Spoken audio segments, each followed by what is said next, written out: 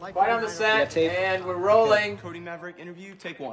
So why are you guys here to interview me? It's what we do. We're a reality film crew.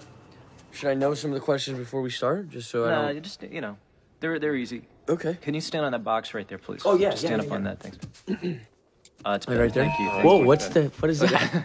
what is that? It's a sound thing. It's a microphone. What's up, man? I'm Cody. And you're what, 14, 15 years uh, old? Uh, 17 years of age. And uh, any other skills besides surfing?